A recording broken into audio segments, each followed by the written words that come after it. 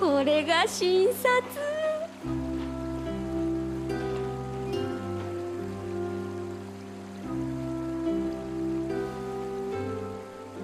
次は舌を出していただいていいですか？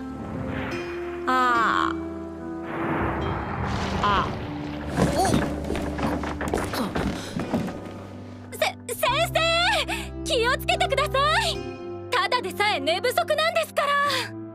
大丈夫だよこれはへいえ診察を続けますね。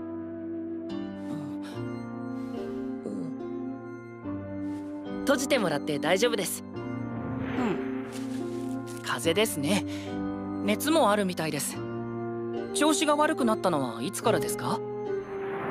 えっと10年くらい前？リンドブルムが今の都市に変わった頃ですねはい。ちょうどスカディちゃんが挨拶に来て。スカディさんが？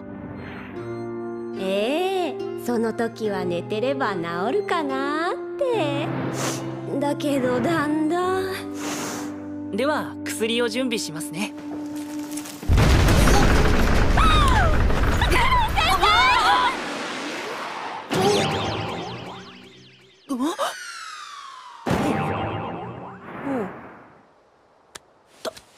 助かりました。いいえお役に立てて。人間と同じで胸部は柔らかいんだな。ここれはちょっと抜け出すのが大変かも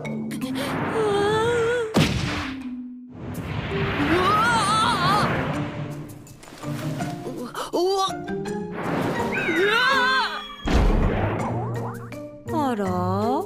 으악!